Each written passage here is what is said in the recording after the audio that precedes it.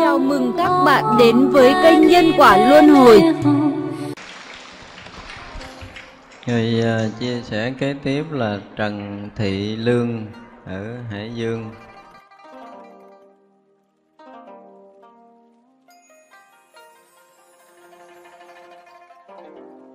Nam mô Bổn Sư Thích Ca Mâu Ni Phật. Nam mô A Di Đà Phật. Con kính bạch thầy trụ trì chùa Long Hương. Con kính kính thưa quý vị hiện diện tại lễ tưởng niệm cố tiên sinh Ô Gia Hoa. Tên con là Trần Thị Nương, pháp danh con là Diệu Thiện. Năm nay con 59 tuổi, ở thôn Vận Tài, xã Hùng Phong, huyện Nam Sách, tỉnh Hải Dương.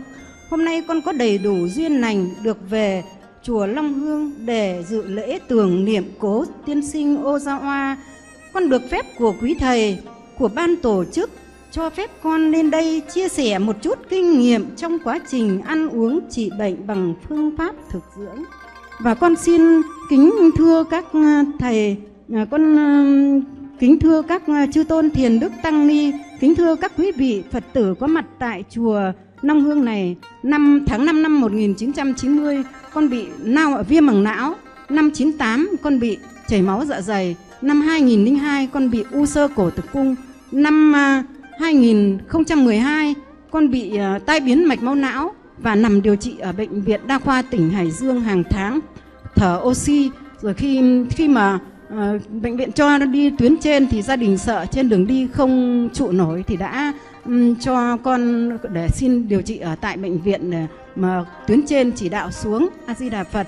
Và khi khi điều trị một thời gian thì um, bệnh tình của con có thuyên giảm liệt nửa người và miệng méo uh, miệng méo, mắt rách và lưỡi rụt. Khi đến năm 2014 thì sức khỏe của con tự dưng lại suy sụp và tiều thân thể của con rất tiều tụy thường xuyên đau bụng. Và đi ngoài thì ăn uống bình thường nhưng đi ngoài không được, cứ phải ngồi nhà vệ sinh hai tiếng mà chỉ được một tí.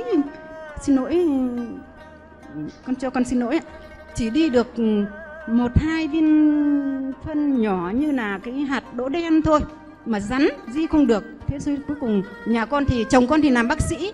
Cái chồng con bảo là, thôi, bà bị ung thư rồi, đi đến bệnh viện xem là u ác hay u lành là đã xác định con là bị u ác đại tràng, bị u ác đại tràng. Thế là ờ, con điều trị ở bệnh viện tỉnh hơn chục ngày, đến 23 tháng 12 âm lịch năm 2014 là con xin phép về à, con đòi về để ăn Tết ở nhà. Thì bệnh viện không cho về, nhưng con quyết tâm đòi về thì gia đình xin về, thì bệnh viện bắt phải làm giấy cam đoan, thì gia đình ở bệnh viện mới cho về. Và gia đình cũng làm giấy cam đoan bệnh viện cho về mà nói là sau ăn Tết xong phải trở lại bệnh viện để làm các phương pháp ừ, tiếp theo điều trị có chị tị chị đem đến cho con ăn cái phương pháp dưỡng sinh này thì con ăn đầu tiên thì con vẫn ờ, không ăn được cái gì cả chị ăn uống nước cháo trắng thôi. Thì khi có gạo nứt muối vừng về thì chị bảo dặn gia đình nhà con là chỉ ăn, bây giờ không biết cái gì, chỉ ăn mỗi chuyên gạo nứt muối vừng. Và bây giờ thì không ăn được thì cứ nấu cháo nghiền ra lấy nước và con cũng uống nước được hai ngày thì con bảo, ôi cho tôi ăn cháo đi. Thì nạ con ăn cháo đặc được đến ngày thứ ba thì bắt đầu là ngày ngày thứ hai ngày ăn cháo đến ăn ba ngày cơm. Cháo đặc ấy thì con bị rời rụng chân tay ra. Sau rồi là mấy ngày thì khỏi xong xong cái rời rụng chân tay, người dã rời ra thì lại chân con sưng bù hết lên. Mồm con thì ờ, sưng, nói chung là sức khỏe của con bây giờ nó không biết nó làm sao, nó đau đớn nhiều lắm, đau đớn nhiều lắm. Xong rồi một thời gian nữa thì lại đau đầu rồi buồn nôn. Nó thải ra nhiều các cái, ngứa ngáy khắp người. Thế con cũng không có thuốc thang gì cả. Chồng con đem thuốc lên chồng con là bác sĩ mà. Thế nhưng mà con cũng không không cương quyết không cho ấy. Con có ghi trong thẻ là nếu như con có bị làm à, tôi có bị làm sao thì cầu xin tất cả mọi người nhất là chồng và các con là hãy thương tôi vì à, đừng khi mà các cái triệu chứng mà có làm sao thì cứ để nguyên có chết ngay cũng cứ để nguyên không được đụng vào, mà không được thuốc thang, cũng không được cấp cứu bất kỳ một hành thức nào nhằm cấp cứu cho tôi cả. Thế thì gia đình khi cũng có lúc ờ, đến ờ, ăn uống sau con cũng nói hơi dài một tí, xin phép ạ. Dạ đến khi ăn uống đến lúc ừ, được con được hơn ba chục ngày, hơn ba chục ngày thì bắt đầu là con thấy khỏe. Con thấy khỏe mà không, tiếng nói của con thì nó không không không như là cái tiếng nói của người sắp chết như trước nữa. Thế mọi người đến thăm thì bảo, ơ, bà này sao bảo sắp chết rồi mà sao nói tiếng trong trẻo mà lại khỏe mạnh thế? Bảo, không biết. Mà con niệm phật rất giỏi. Con cứ chịu khó con niệm phật. Con niệm phật à, con ngồi con niệm phật. Thế rồi đến ngày thứ được hai tháng thì bắt đầu là con bụng con cương cứng lên, đau. Xong rồi là bấy giờ là con thấy bảo hay là nhà con bảo là khớp thì đã phá đến khớp rồi, phá đến tim không thở được rồi, phá đến phổi ho ra đờm, cứ như là những cái kén trắng vàng rồi thì xanh. Thì là nhà chồng con bảo đến phổi rồi, đến tim rồi. Thế rồi đến lúc đến con lại đau đầu đau đầu nôi cả mắt ra. Đến nhiều con bảo thôi đến não rồi Không tự dưng lại trên đầu con mọc rất nhiều mụn Mụn to như là mụn ờ, bọc vậy Thế là đến lúc cuối cùng ờ, một rồi dần dần nó cũng cũng cũng đi đâu lúc nào con cũng không biết ở những cái mụn trên đầu nữa. Rồi con con bị đại tràng mà lần sau con lại chảy máu ở tai. Thế nhà con bảo thôi thế là não phá rồi. Đến bây giờ là không còn gì nữa. Thế rồi đến lúc cuối cùng sau đâu đấy là đến cái đêm hôm à, đến chiều hôm ngày 29 tháng 4 ờ, là bắt đầu là con bị trụy tim mạch. Có nghĩa là tim đập nút đập lúc không đấy như đông y thì có nghĩa à, bên tây y. Là mọi người là no là đây là chuẩn bị chết rồi.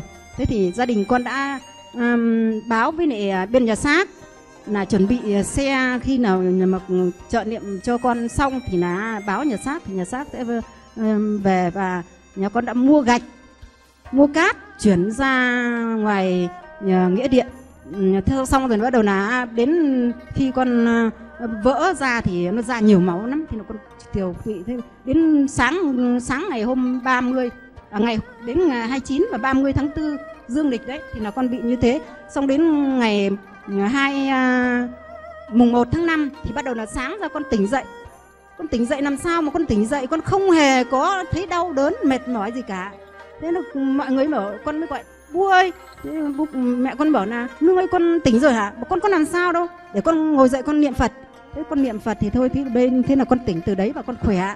Thôi a di đà phật thời gian không có nhiều nên con cũng không dám nói nhiều, chia sẻ nhiều. Nhưng mà thôi thì con cũng chỉ là những người rất bình thường mà mang trong người rất nhiều bệnh nặng. Rồi con cũng chỉ mong muốn tất cả những ai có mang trong mình những bệnh à, nặng như con thì hãy tin tưởng vào phương pháp ừ, thực dưỡng này mà ăn cho đúng, ăn ờ, cho kỹ, đúng mà xem ờ, những cái lời thầy giảng ở trong ờ, băng đĩa và trong sách để ừ, thực hiện thì bệnh nào cũng khỏi và con cũng mong muốn tất cả những nhà chức trách có ờ, có có quyền giữ đến sức khỏe của con người tại Việt Nam này thì tạo mọi điều kiện nghiên cứu ờ, xem xét và tạo mọi điều kiện để cho ngành thực dưỡng của thầy Tuệ Hải được phát triển mạnh mẽ để cứu vớt tất cả cuộc sống cho sức khỏe cho mọi người ở nước Việt Nam này ạ. A Di Đà Phật. Con